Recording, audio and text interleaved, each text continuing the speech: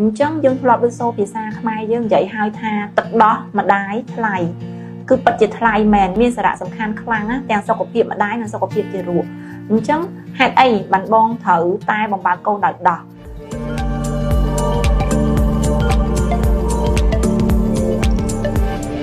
ចាសូមជម្រាបសួរនេះខ្ញុំវិជ្ជាបណ្ឌិតលឹមចាមេរតគឺជាវិជ្ជាបណ្ឌិតឯកទេសផ្នែកសម្ភពនិងរោគស្ត្រីអញ្ចឹងខ្ញុំលើកទឹកចិត្ត ថាការបំបើកកូនដោយទឹកដោះគឺជាមធ្យោបាយដែលល្អបំផុតហើយថ្ងៃនេះខ្ញុំសង្ឃឹមថាសារវីដេអូមួយនេះនឹងអាចជួយលើកទឹកចិត្តដល់បងបងស្ត្រីទាំងអស់ឲ្យងាកមកបំបើកកូនដោយទឹកដោះវិញព្រោះអីវាមានសារៈសំខាន់មែនតើបំបើកបូនដោយទឹកដោះគឺបានជួយកាត់បន្ថយទៅលើអត្រានៃការមហារីកដោះមហារីកសបូនអត្រានៃការដែលស្ត្រីក្រោយមានកូនហើយមានជំងឺបាក់ទឹកចិត្តដែលសម័យឥឡូវនេះ គឺមានអ្នកមានជំងឺបាក់ទឹកចិត្តច្រើនមែនតើអញ្ចឹងការដែលបងជួយបំបើកដល់កូននេះអាចជួយកាត់បន្ថយនៅលើអត្រានៃការបាក់ទឹកចិត្តរបស់បងក្រោយក្នុងក្រោយពេលសម្រាលបានច្រើនមែនតើតែម្ដងសម្រាប់ទារកសម្រាប់ការបំបើកដោះកូនដោយទឹកដោះបានជួយកាត់បន្ថយទៅលើជំងឺរលាកប្រព័ន្ធផ្លូវដង្ហើមរបស់ទារកមួយចំនួន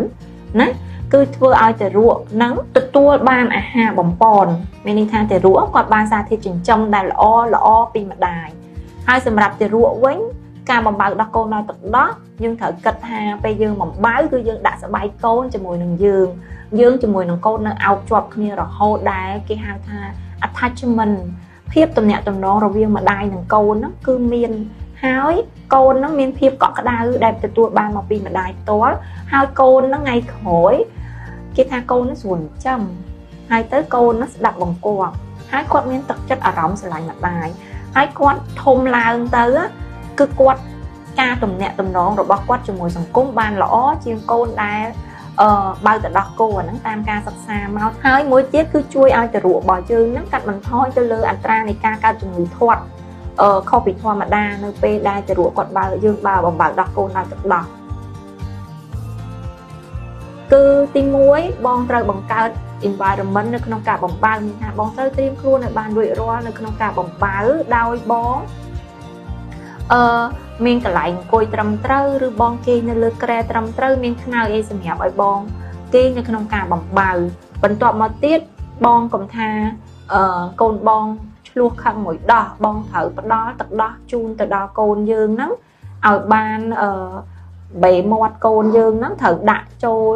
ទៅលើដល់ដោះរបស់យើងឲ្យគាត់ហាមាត់ឲ្យសុបហើយបន្ទាប់មកឲ្យគាត់ជញ្ជក់ដោះយើងឲ្យសុបកុំឲ្យលឺសូរផ្លាប់ផ្លាប់កាលណាលឺសូរផ្លាប់ផ្លាប់មានថាគាត់បើអត់សុបទេចឹងទឹកដោះអត់បានចូលដល់មាត់គាត់ទេចឹងធ្វើឲ្យគាត់ខឹងគាត់ឆ្លោះមួយយើងអញ្ចឹងយើងត្រូវកុំបន្ទោសកូនណាកូនវាកាចកូនឆ្លោះដោះយើងមើលខ្លួនឯងណាតែយើងចេះបំបើគាត់អត់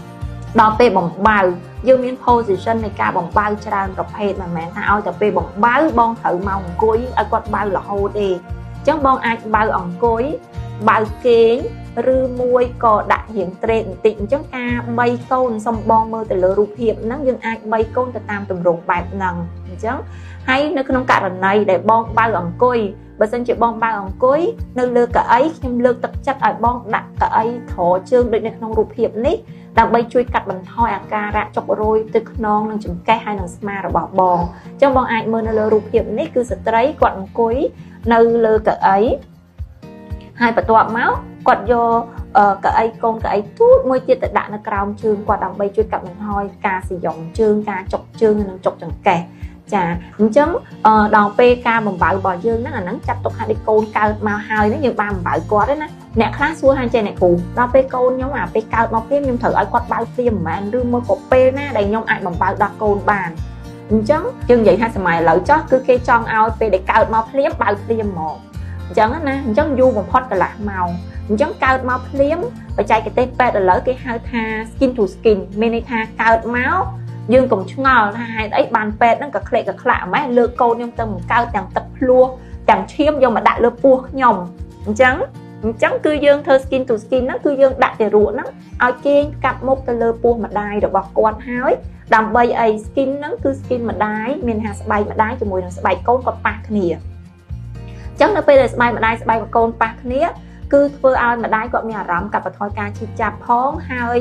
គាត់អត់សូវភ័យឬមួយក៏អីទេនៅពេលដែលគាត់មានកូនគាត់នៅលើគាត់អញ្ចឹងទៅអញ្ចឹងធ្វើឲ្យការបញ្ចេញនៃការតម្លាក់សុខមានប្រសិទ្ធភាពខ្ពស់ដល់ពេលទៅរក់វិញគាត់ធ្លាប់តែនៅក្នុងពោះម៉ាក់គាត់មានភាពកក់ក្ដៅដូចថាតឹងហ្មងនៅក្នុងពោះវាមានគាត់នៅក្នុងសបូនមានទឹកភ្លួកបាំងជុំវិញគាត់ដល់ពេលគាត់ចេញហើយគាត់នៅក្នុងពោះក៏ស្ដាប់ឮសូរសំឡេងបេះដូងម៉ាក់ម៉ាក់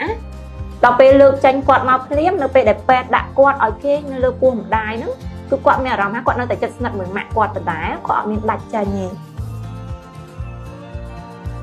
យើងជាម្ដាយដូចគ្នាសូមមើលទៅលើចំណីអាហារដែលយើងត្រូវបន្តទៅដល់កូនយើងអញ្ចឹងចំណុចនេះចំណីអាហារនៅស្រុកខ្មែរយើងតែងតែមានភាសាថាទាស់ទាស់មួយញ៉ាំស្រាឆ្អិនប្រស័យ2អឺ ហើយនឹងញ៉ាំថ្នាំខ្មែរឲ្យឆ្អិនប្រស័យកុំឲ្យទាស់នឹងអញ្ចឹងចំណីអាហារនៅក្រៅការសម្រាលកូនមិនហើយមានមានអាស្ត្រីមួយចំនួនណាក្នុងពេទ្យគាត់អត់ញ៉ាំទេស្រាថ្នាំខ្មែរ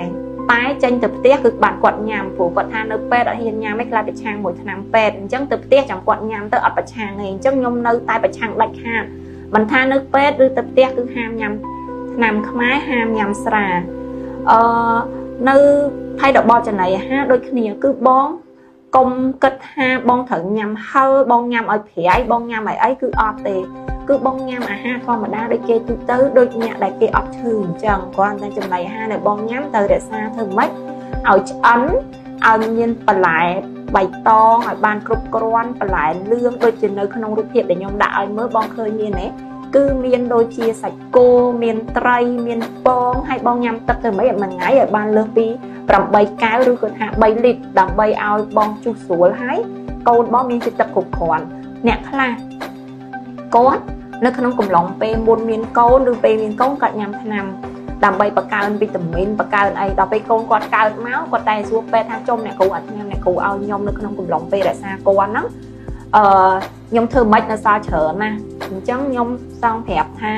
ថ្នាំដែលបងប្រើនៅក្នុងកំឡុងពេលរក្សាកូនហ្នឹងបងនៅតែញ៉ាំបន្តដដែលដើម្បីអីឲ្យសារធាតុបំពន់ហ្នឹងចូលទៅក្នុងខ្លួនបង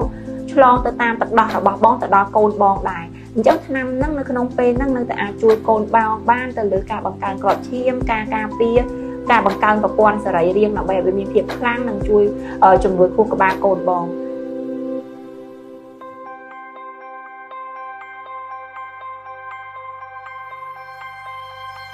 សម្រាប់คลิปវីដេអូមួយនេះខ្ញុំសង្ឃឹមថាបងបងនឹងអាចជួយបងបងនៅក្នុងការបំបើដោះកូនឲ្យបានជោគជ័យនិងលើកទឹកចិត្តបងបងធ្វើមិនខ្មិចបំបើដោះទៅរក់ឲ្យបានដើម្បីធ្វើយើងគិតថាចេះធ្វើមិនឲ្យកូនខ្ញុំឆ្លាតកូនខ្ញុំអត់សូវឈឺ